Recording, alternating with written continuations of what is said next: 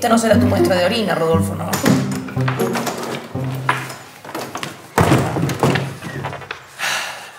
Buen día a todos. Llegó el maestro suplente. Buen día, decir a tu vieja que debe estar en algún rincón del Congo rogando por un pedazo de pan. Mira, Raquel, primero y principal, mi madre vive acá a dos cuadras. Conmigo. Y segundo, hoy deberíamos definir ciertos temas que me parece importante tratar, por lo cual traje un temario para que discutamos. Lo único que hay que discutir acá es si te denunciamos o no al departamento de migraciones. Además, vos no nos vas a decir qué temas tratar. Son los mismos temas que venimos tratando hace 50 años. Claro, Samu, no es tan complicado. Yo les doy una pelota y ellos juegan. No es tanta ciencia. Yo ya tengo todo el programa armado. Primer cuatrimestre, software. Les enseño Paint, el Buscaminas. Segundo cuatrimestre, hardware. CD, disquete, escáner. Eso. No, bueno, pero me parece importante estar actualizados, ¿no? Sobre todo que los chicos estén en contacto con temas que ocurren actualmente en la sociedad, cómo avanzan. ¿De qué avance me hablas si vienen cada vez más pelotudos? Ya ni la tabla del 13 saben de memoria. Parece que estuvieran en un concurso a ver quién es el más boludo y todos se merecen el primer premio. Mira, me tomé el atrevimiento de revisar los programas y hay un tema que estamos dejando afuera. Yo también me tomé el atrevimiento, querido, de encontré acá un tema que me pareció súper interesante. Mira, escucha, te lo voy a leer. Dice, ¿cómo detectar a un extranjero y devolverlo a su país de origen? Estoy hablando en serio, Raquel, me refiero a la ESI. ¿Eh? ¿Qué es eso? ESI. No, no, no. Para mí te estás confundiendo con ESC. ESC es una tecla, ¿no? De la computadora que significa escape, es una abreviación. Se usa para entrar al menú de los jueguitos. Me parece un buen aporte, ¿eh? Lo voy a agregar. No, no, no, ESI, ESI, Educación Sexual Integral. Y bueno, si se trata de educación sexual, yo le puedo enseñar a los chiquitos un par de posturas que aprendí allá en los 80, cuando le daba la matraca duro, duro, dentro de un fitito oxidado. Y yo les puedo enseñar cómo aguantar la abstinencia sexual durante siete meses. En la academia militar nos pegábamos dos trompadas en los huevos cada cuatro días y listo. Lo que sí, lo que sí, el 90% de la gente quedó estéril. Pero eso es muy bueno porque te ayuda a prevenir para que haya menos mocoso de mierda en estas escuelas. No, no, Rodolfo, la ESI está pensada para que los chicos aprendan a conocer su cuerpo, a que adquieran, no sé, actitudes, valores responsables con respecto a su sexualidad.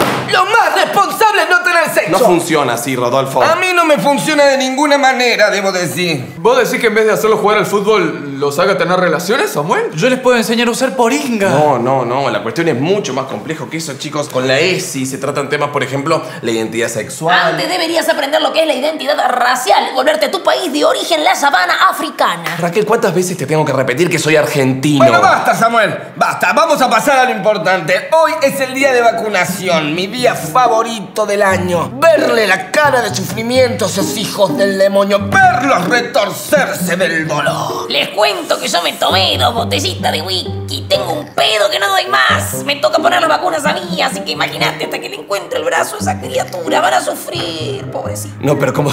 ¿Las vacunas las tienen que poner, no sé, enfermeras capacitadas o no? Enfermeras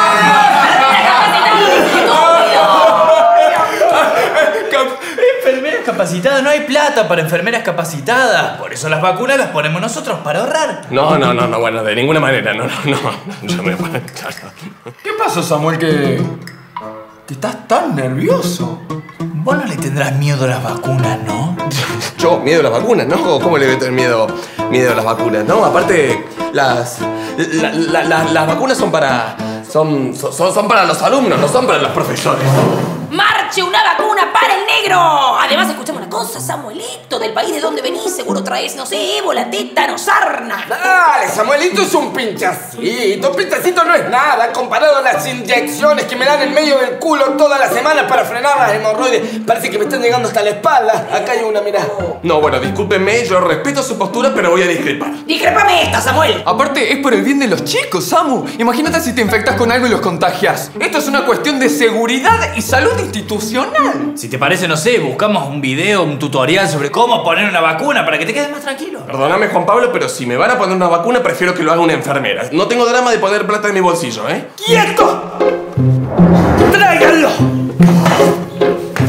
Traigan la caja de vacunas. Quédate quieto, africano, que tengo un pulso fascinante.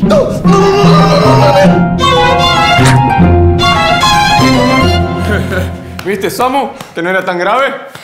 La verdad que sí, ¿eh? Bastante bien, bastante bien.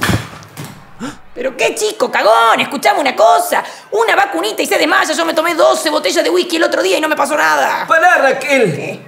Estas son las vacunas que sobraron de hace tres años. ¿Te acordás que las guardamos porque Eduardo las quería vender en la frontera? Un africano menos.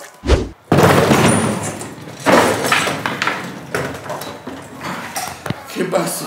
Pasó, que sos muy flojito. Te desmayaste por una vacuna vencida.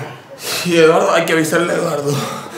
no, Eduardo hace como cuatro días que no aparece. Está en algo raro, me parece. A ver, pendejos de porquería, ¿quién es el primero? No se resistan que hoy todos van a sufrir, ¿eh? Vos, Rodríguez, sos el primero. Pará, pará, pará, pará. ¿Cambiaron la caja de vacunas? Otro pendejo desmayado.